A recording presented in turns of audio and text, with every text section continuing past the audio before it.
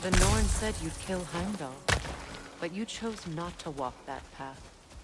Back when we first met, I doubt you'd have done the same. And you? Do you still seek Ragnarok? Odin has much to answer for. If Groa's prophecy is correct, perhaps my realm can finally know peace. Perhaps I can know peace. Forgive me for being a head on a belt, but haven't we all just established how prophecy is pure havers? Gods, Mimir. What? The most annoying man alive.